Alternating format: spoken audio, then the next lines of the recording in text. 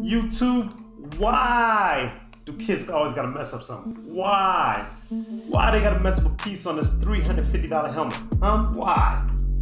I bet that's what a lot of parents are saying.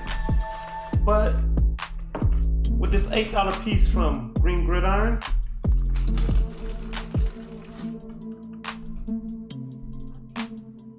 and this flathead screwdriver, I'm gonna show you why it's not that big of a deal. Stay tuned. Let's go.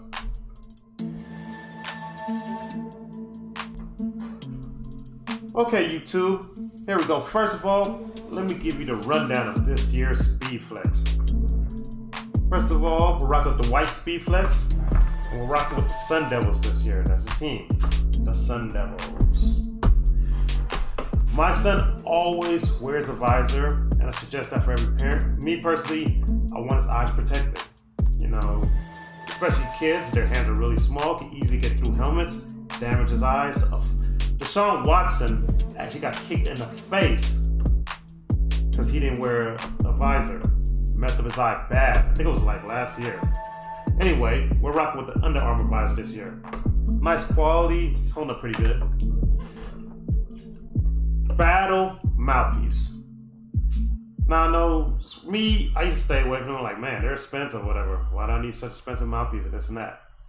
My son chews mouthpieces like he's Steph Curry. We had to he hasn't even been playing all that long, but he we had to have gone through 30 mouthpieces already because he chews up like five to ten of them a season, literally. This one right here though, it's been about a year and it's still going strong. I don't know what battle does, but keep up the good work, battle. We're loving it. Anyway, um, what you guys came to see was the repair. As you can see over this side, it has a black thing. You can see over this side, it's missing now. Me as a parent, I suggest that everybody repair your kids' stuff, please. I like to keep it as close to factory as I can. So any little screw or anything comes out, I am repairing it. And like right away. I got this company that I go to right now. As you can see this FedEx thing called Green Gridiron. They're great. This is the second time I've used them. And they're fast. It takes a couple days. And it's always my equipment. I got the piece that I need. Only the piece I need. I didn't have to buy no extra stuff with it, no nothing. They gave me only the piece that I need. It's about four of them in there, which is really cool. We no longer need this.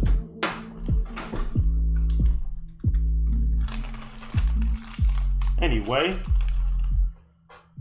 see, it's just a little screw.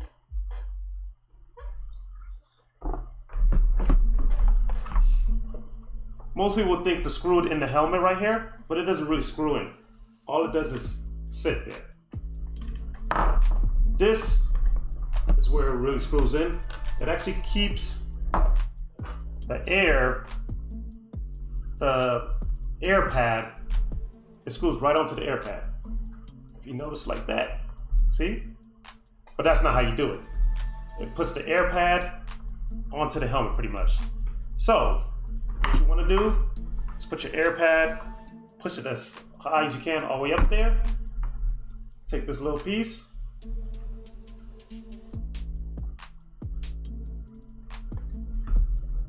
Push it in the hole. Got your flathead screwdriver. Let's start timing. And faster than you can count to one, two, three, it's done.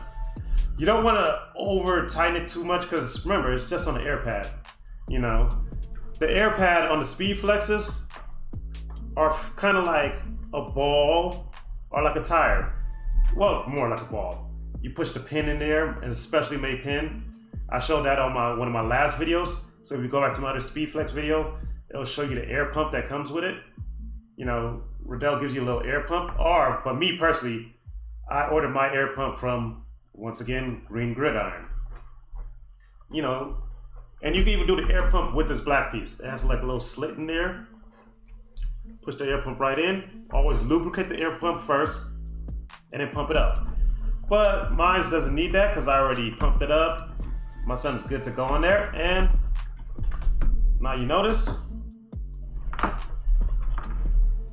right back in place, perfectly ready to go.